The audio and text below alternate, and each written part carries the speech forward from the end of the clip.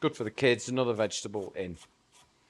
I don't think sweet potato is technically a potato, is it? It's it's a vegetable. Potatoes are vegetables. No, they're not, are they? There's something else. What are the, what's the technical term for a potato? Go on, you're gonna have to Google that, Emily.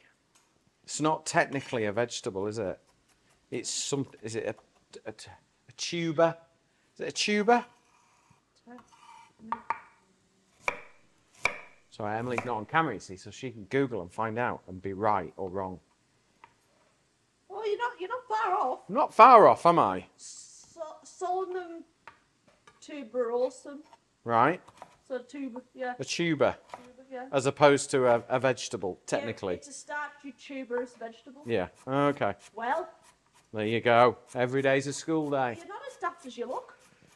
Well, I didn't quite know. Uh, I almost knew. Okay.